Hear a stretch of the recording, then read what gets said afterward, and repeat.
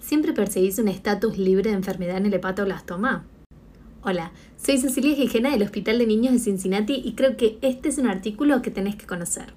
Este es un estudio retrospectivo observacional realizado en el Hospital de Niños St. Jude's desde el 2005 hasta el 2021. Y su objetivo era ver el efecto del perseguir un estatus libre de enfermedad en aquellos pacientes que tenían hepatoblastoma. ¿Y qué encontraron? Tuvieron 50 pacientes con hepatoblastoma, de los cuales 41 tenían un estatus libre de enfermedad. Y lo que vieron es que el tiempo libre de enfermedad y la sobrevida en general estaba significativamente mejorada en aquellos pacientes en los que habían tenido un estatus libre de enfermedad. Así que parece que lo mejor es buscar un estatus libre de enfermedad en pacientes que tienen hepatoblastoma. Quédate conectado para más artículos que tenés que conocer.